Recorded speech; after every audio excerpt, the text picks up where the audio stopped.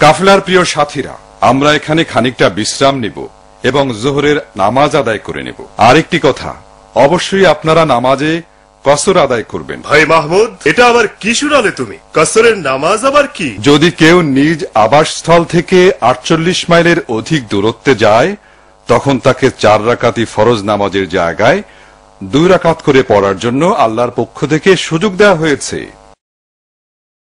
কিন্তু আমি যদি পুরো সওয়াবের আশায় পূর্ণ চার রাকাত পড়ি, তাতে তো কোনো দোষ বা গুনাহ নেই, বরং আরও বেশি সওয়াব পাচ্ছি। ভাই আরবাজ ভালো কথাই বলেছ।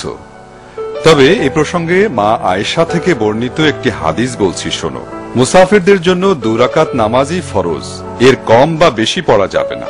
মনে করো, কেউ যদি নিজ ঘরে চার রাকাতের জায়গায় পাঁচ রাকাত কিংবা তিন রাকাতের জায়গায় চার রাকাত পড়ে, তা যেমন জায়েজ নয়, ঠিক তেমনি মুসাফিরের জন্য দু রাকাতের বেশি পড়া বৈধ হবে না। আর হ্যাঁ মাগরিবের কিন্তু কোনো কসর হয় না।